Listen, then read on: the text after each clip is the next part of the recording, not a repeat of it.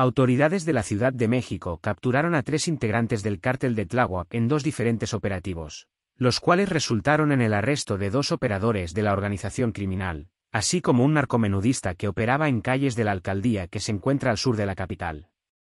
Uno de los operadores fue capturado por policías de la Ciudad de México cuando se encontraban realizando recorridos de seguridad, mientras que el otro líder de una célula, y uno de sus narcomenudistas, fueron capturados gracias a un operativo de la Fiscalía Capitalina. Durante la tarde del pasado martes 12 de abril, agentes de la Secretaría de Seguridad Ciudadana, SSC, detuvieron a Raúl Guillermo Aguilar Alcalá, el memotero, a quien se le acusa de liderar una célula del cártel de Tláhuac y coordinar la distribución de droga en la entidad. El memotero recibiría órdenes directas de Don Pollo, líder regional de la organización, quien a su vez respondía ante el comandado por el hijo de Felipe de Jesús Pérez Luna, el Ojos, a quien se le identificó como Fernando Pérez y el cual sería el actual líder de la organización delictiva. Los agentes de la SSC que capturaron al memotero se encontraban realizando labores preventivas en la colonia Santa Ana Poniente cuando se percataron de la presencia de dos hombres que viajaban a bordo de un vehículo, quienes presuntamente realizaban venta de drogas desde la unidad. Al notar la presencia de los uniformados, los sujetos intentaron darse a la fuga a bordo del vehículo en el cual se encontraban, por lo cual los policías comenzaron una persecución en su contra, resultando en la intercepción del automóvil por parte de los uniformados.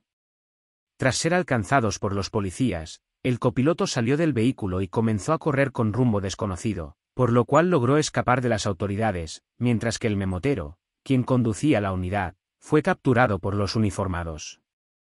Al operador del cártel de Tláhuac se le aseguraron 41 bolsas de plástico con marihuana, 12 envoltorios con cocaína y 250 pesos en efectivo, lo cual fue entregado al Ministerio Público Local, quien determinará su situación jurídica.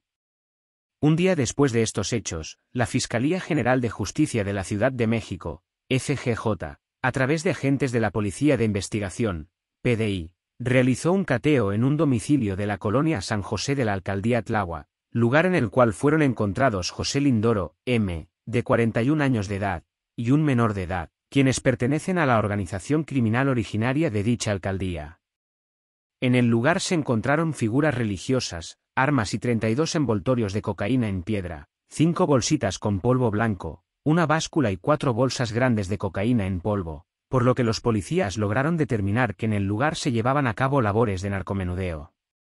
El pasado 11 de marzo agentes de la FGJ detuvieron a Cristian Fuenleal, un ministerio público de la misma dependencia y a quien se le acusó de mantener nexos con el cártel de Tláhuac, por lo que se había girado una orden de aprehensión en su contra. De acuerdo con las investigaciones de las autoridades capitalinas, el servidor público utilizaba su cargo para proporcionar información al grupo delictivo que opera con remanentes al sur oriente de la capital del país.